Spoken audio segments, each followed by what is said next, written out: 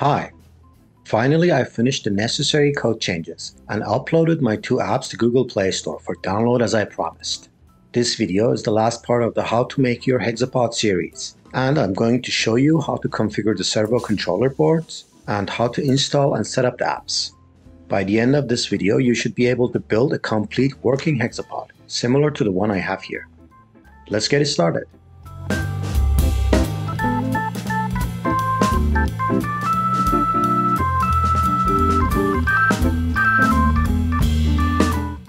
First, let me give you a quick overview.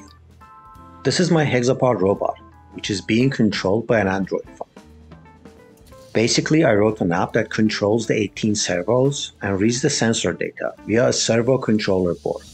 All the control code is on the phone, and I'm only using the servo controller board as a simple port extension. The remote control is another app that runs on a second phone. The two phones connect over Wi-Fi using TCP IP. So I named the app on the main phone Chica server and the one on the remote control Chica client.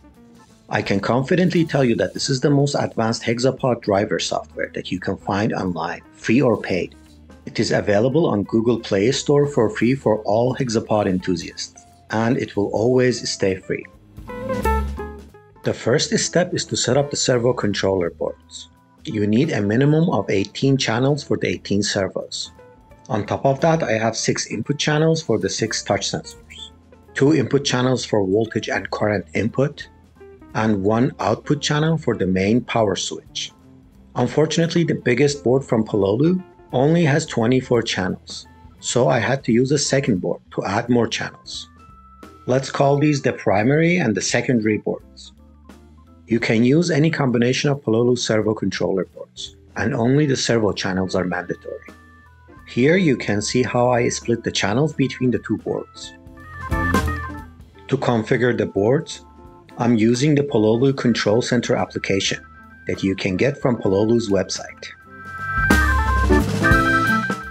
In the Channel Settings tab, you can set each channel to be a servo, an input, or an output.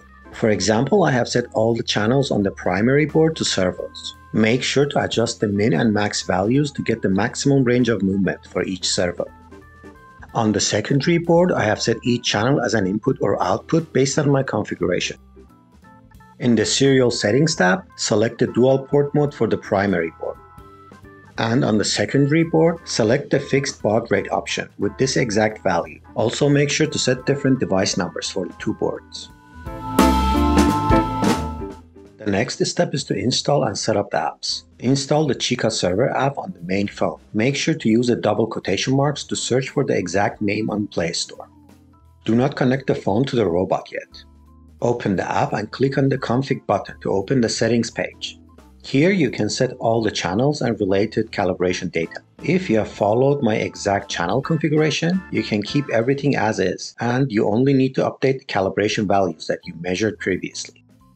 There is also some configurations for Hexapod geometry, so you can use this app to drive your custom-made Hexapod robot as well, which I think is pretty cool. I won't go into the details of the config format here, because I think it is pretty self-explaining. You can edit the config directly in the app, or edit it on the computer in a text file, and just paste the final config into the app, as I do here. Make sure to save the config and double check to verify that the changes are accepted. Then exit the app. Now connect the phone to the robot and accept the prompt to give permission to the app to open this USB device by default. If everything goes as planned, you should see the self-initialization sequence. Check the touch sensors and voltage and current readings to make sure they work as expected. You can also block and unblock the robot to inspect the servo movements. Now install the Chica client app on the remote controller phone. Make sure that the two phones are connected to the same Wi-Fi network. You can also create a hotspot on one of the phones and connect through that, which is useful when there are no Wi-Fi networks around. Open the client app and go to the settings tab. Here you should enter the IP address of the main phone. I display the IP on the main app. You can also find the IP from the phone's status info. Enter the IP and save the changes. The client app will scan these IPs and it should connect in a few seconds. Once it is connected, you should see the robot status on the remote control. Well, that was it. Now you can try all the different movements and walking aids that are available under remote control. My plan is to update these apps with bug fixes and new features over the coming months and years, and help as many of you as I can to build your own hexapods using these apps.